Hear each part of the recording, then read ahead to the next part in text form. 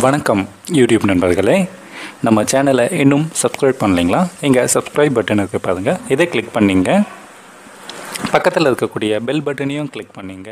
நான் போடக்கூடிய வணக்கம் யூடியூப் நண்பர்களே. உங்களை மீண்டும் சந்திப்பதில் மிக்க மகிழ்ச்சி.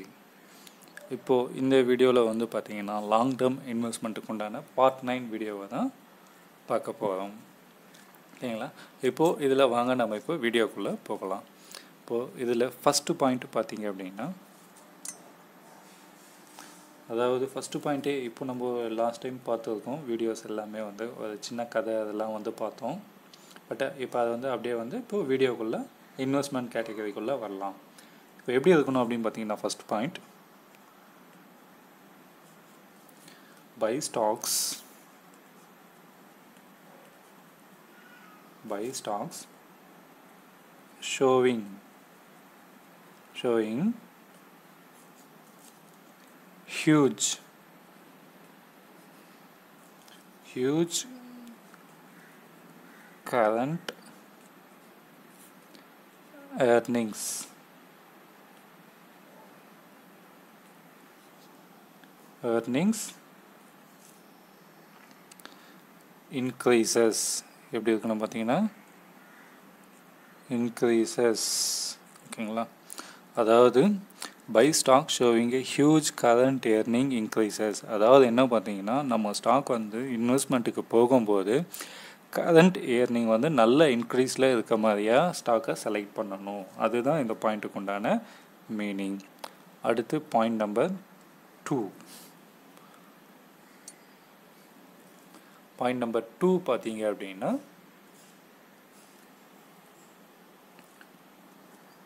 இது watch watch out for misleading. Misleading earning report.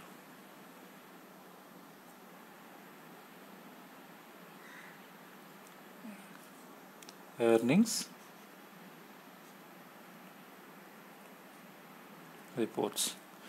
இதுக்கு என்ன மீனிங் பார்த்தீங்கன்னா watch out for misleading earning reports இதுக்கு ஒன்றும் கிடையாதுங்க. அதாவது பார்த்தீங்கன்னா நம்ம அந்த ஏர்னிங் ரிப்போர்ட்லாம் எங்கேருந்து எடுக்கணும் அப்படின்னு பார்த்தீங்கன்னா ஒன்று நம்ம ஸ்டாக் எக்ஸ்சேஞ்சிலேருந்து எடுக்கணும்.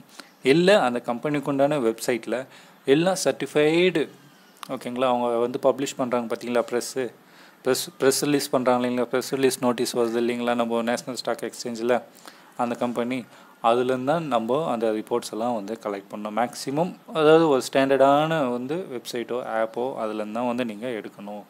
எல்லாத்துலேயும் ஆப் பார்த்தீங்கன்னா மிஸ்லீடிங் இருக்கும். அதாவது தவறான தகவல்கள் வந்து இருக்கிறதுக்கு உண்டான வாய்ப்புகள் இருக்குது இது ரொம்ப முக்கியம். ஓகேங்களா இப்போ யாருன்னா வந்து ஒரு தவறான தகவல் கொடுத்துட்டாங்கன்னா அது வந்து அதாவது நல்ல செய்தி அப்படின்னு சொல்லிட்டாங்கன்னா அந்த கம்பெனியில் வந்து ஒரு கெட்ட செய்தி நடக்குதுன்னா அது இவங்க நல்லதாக சொல்லிட்டாங்கன்னா நம்ம இன்வெஸ்ட் பண்ணிட்டோம் அப்படின்னா அப்புறமா நம்ம அதில் போயிட்டு லாஸை போய் சந்திக்கக்கூடிய நிலை ஏற்படும். ஸோ அது மாதிரி கரெக்டான ரிப்போர்ட்டை வந்து நம்ம எடுக்கணும். ஸோ அதுதான் இங்கே என்ன சொல்லியிருக்காங்கன்னா மிஸ்லேடிங் இயர்னிங் ரிப்போர்ட்ஸ் எல்லாம் வந்து கொஞ்சம் கரெக்டாக பாருங்க அப்படின்னு. அடுத்து மூணாவது பாயிண்ட் மூணாவது பாயிண்ட்னா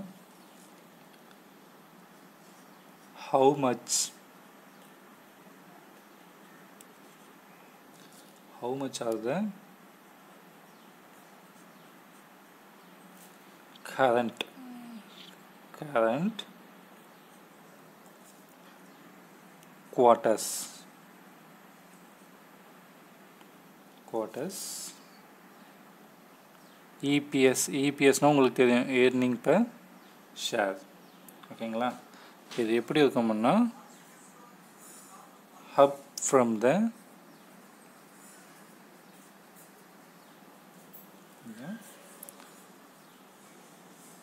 same quarter same quarter the year before ஓகேங்களா இது வந்து பர்சன்டேஜில் இருக்கணும் ஓகேங்களா how much are the current quarters EPS earning per share up from the same quarter the year before அதாவது அந்த இயர் பிஃபோரில் அதாவது முன்னாடி வருஷத்தை பார்க்கும்போது எவ்வளோ வந்து ஏர்ன் பண்ணுச்சு? ஓகேங்களா? அதையும் வந்து நீங்கள் பார்த்துக்கணும். அதே லெவலில் இந்த வருஷமும் ஏர்ன் பண்ணியிருக்கா? அது வந்து பர்சன்டேஜ் ஓகேங்களா? நம்ம பர்சன்டேஜ் வந்து வச்சுட்டு இருக்கோம்ல எட்டு டு பத்து பர்சன்டேஜ் அந்த மாதிரி அந்த ரேஞ்சில் இல்லை ஏதாவது பர்சன்டேஜ்னு அந்த ரேஞ்சுக்குள்ளே வந்து நம்ம பார்க்கணும். அது என்ன ரேஞ்ச் பண்ணியிருக்கோ அந்த ரேஞ்சும் வந்து இது பண்ணியிருக்கா?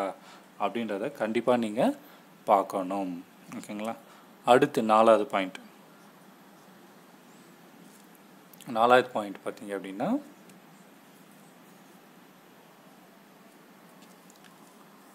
omit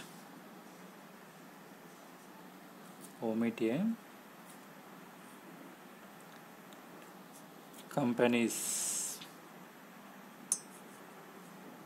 companies one time one time Extraordinary extraordinary gains. Extraordinary gains. ஓகேங்களா? அதாவது ஒமிட்டிய company one time extraordinary gains இதுக்கு என்ன மீனிங் அப்படின்னு பார்த்தீங்க அப்படின்னா அதாவது அதிகமான ஏர்னிங்ஸ் கம்பெனி வந்து பார்த்திங்கன்னா நல்லா கெயின் வந்தது அப்படின்னா அந்த கம்பெனியை லாங் டேர்ம் இன்வெஸ்ட்மெண்ட்டுக்கு எடுக்காதீங்க. சடனாக வந்தது அப்படின்னா ஏன் சடனாக வந்தது அப்படின்னு பார்த்தீங்கன்னா இப்போ சடனாக வர கம்பெனியில் திடீர்னு ஒரு நல்ல ஒரு நல்ல நியூஸாக தான் இருக்கலாம். பட் ஆனால் அது ஃப்யூச்சருக்கும் அந்த நியூஸ் வந்து தாக்கு பிடிச்சி அந்த கம்பெனி அதே லெவலில் போகுமா அப்படின்னா ஒரு டவுட்டு தான். ஓகேங்களா? கிராஜுவலாக தான் இருக்கணும். ஓகேங்களா? இதை இந்த மாதிரி எக்ஸ்ட்ராடினரி இயர்னிங்ஸ் வந்து இருந்ததுன்னா அதை நீங்கள் தவிர்க்கிறது பெஸ்ட் அடுத்து அஞ்சாவது point a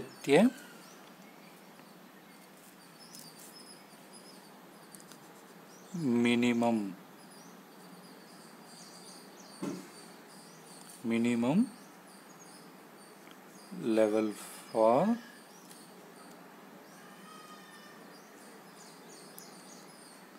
current earning increases ஓகேங்களா?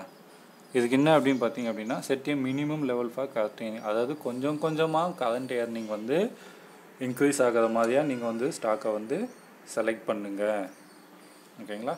கொஞ்சம் கொஞ்சமாக கரண்ட் ஏர்னிங்ஸ் இன்க்ரீஸ் ஆகிற மாதிரியான ஸ்டாக்ஸை வந்து நீங்கள் செலக்ட் பண்ணுங்கள் இந்த மாதிரி இதை பாருங்கள் இங்கேயே சொல்லியிருக்காங்க இப்போ எக்ஸ்ட்ராடினரி இது வந்து செலக்ட் பண்ணக்கூடாது. அதாவது எக்ஸ்ட்ராடினரி ஏர்னிங்ஸை கொஞ்சமான ஏர்னிங் இருக்கக்கூடிய ஸ்டாக்ஸை நீங்கள் வந்து செலக்ட் பண்ணணும். அதுவும் கிராஜுவலாக ஏர்னிங் இன்க்ரீஸ் ஆகணும். அப்போ லாங் டேர்ம் இன்வெஸ்ட்மெண்ட்டுக்கு இவ்வளவும் முக்கியம்.